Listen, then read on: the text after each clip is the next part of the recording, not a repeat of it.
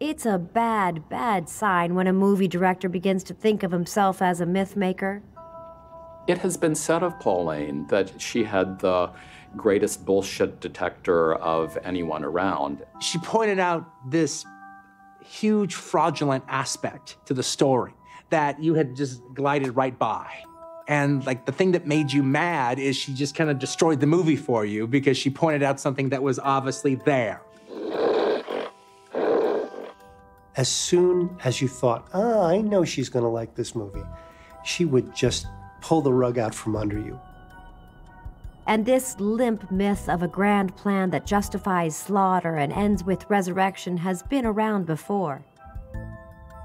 Kubrick's storyline accounting for evolution by an extraterrestrial intelligence is probably the most gloriously redundant plot of all time, and although his intentions may have been different, 2001 celebrates the end of man. I agreed with her position on 2001. You know, it's all subjective. That's the best opinion you can have about movies that's subjective.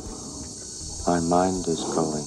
A critic should stimulate you to develop your own opinion. You're not, you're not there to be converted to the, to the you know, critic's viewpoint. 2001 is a celebration of a cop out. It says man is just a tiny nothing on the stairway of paradise. There is an intelligence out there in space controlling your destiny from ape to angel, so just follow the slab.